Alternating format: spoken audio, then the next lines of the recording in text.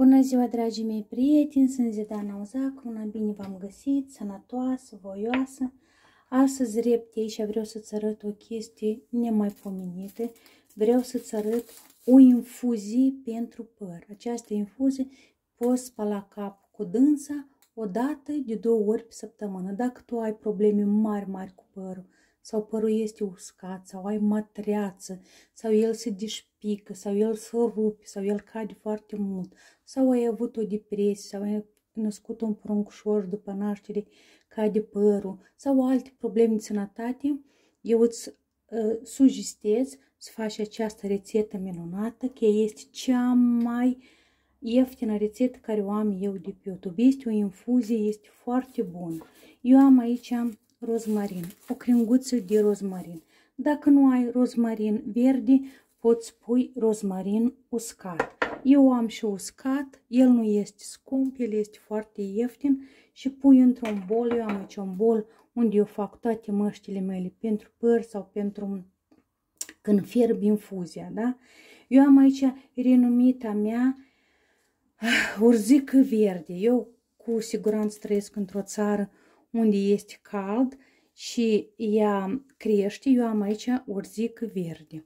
Dar poți să faci cu urzică uscată. Dar dacă ai posibilitatea să o strângi uh, vara de pe, de pe deal, este foarte bun o usu și este pentru păr și pentru unghiile bolnave, să știți.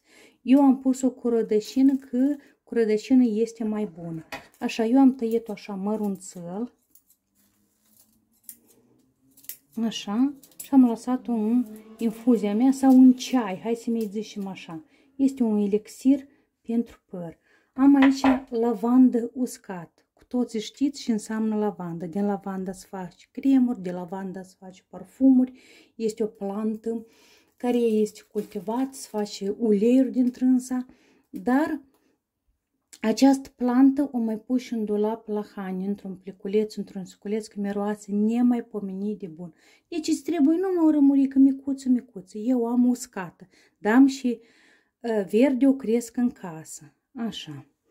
Am aici o bunătate nemaipomenită ca să mă întrebați. În primul comentariu la acest video eu vă las planta. Eu am aici plantă de ricin. Eu o cresc în casă la mine. Dacă nu ai această plantă de recin, pui câteva picături de ulei de recin. El este foarte ieftin, se găsește în uh, farmacii, în magazine bio și costă, uitați-vă, 1,50 euro. Deci un bidonaș, o sticluță de aceasta îți ajunge pe câteva luni. Credem că uleiul de recine este pentru podoaba noastră capilară, este perfect, cu siguranță asta ajute și este foarte ieftin. Eu astăzi vreau să pun o cringuță de um, de recin câteva frunze. Așa. Eu deci mai de desubt câteva frunze de planta de recin. Cu siguranță că această plantă de recin crește la voi în grădină, dar voi poate nu știți care este. Face niște semințe mașcate. În primul comentariu o să arăt care este planta de recin. De crește mare, mare, undeva de vreo 2-3 metri. Eu pun așa.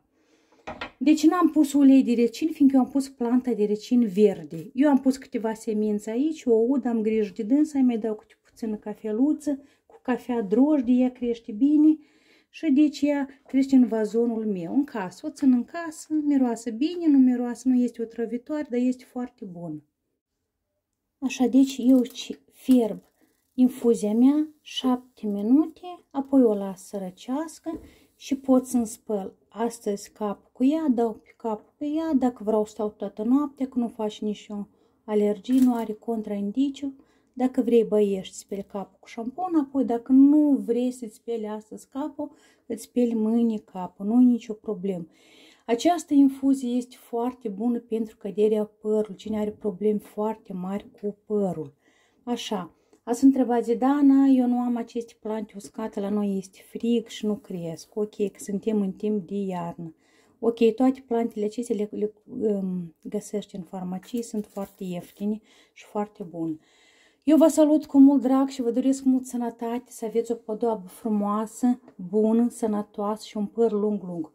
Pe data viitoare, în video următor, Vă arăt cum fac un suc de cactus pentru cancer. Este foarte bun și pentru ficat și pentru tuberculoză. Dacă mă urmărești, vei vedea și bunătate fac eu aici. Poți consumi o linguriță, două de suc de cactus, nemaipomenită de bună. Este cactus, este pentru cancer. Cine are probleme canceroase, el previne cancerul. Vă salut cu mult drag, Zidana!